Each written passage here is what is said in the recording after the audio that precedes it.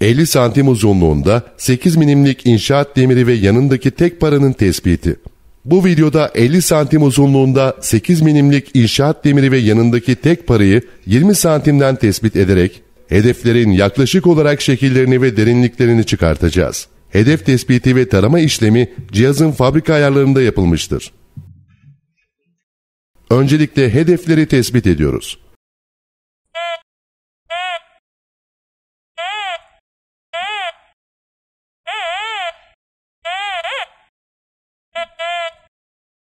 Daha sonra hedeflerin şekillerini çıkartmak için sinyalin ilk başladığı noktanın biraz dışından başlayarak bobini sağa sola yavaş hareketlerle sallayarak sinyalin bittiği noktadan bobin tamamen çıkana kadar tarama yapıyoruz.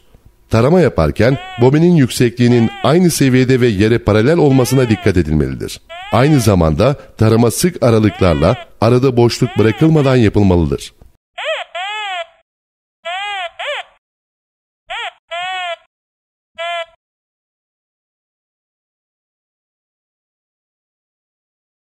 Tarama işlemi bittikten sonra kısa bir süre cihazın almış olduğu sinyalleri işlemesini bekliyoruz.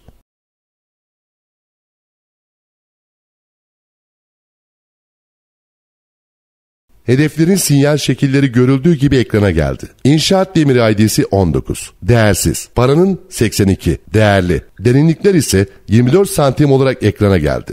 Derinlik bobinin yerden yüksekliği dahil olarak hesaplanmaktadır.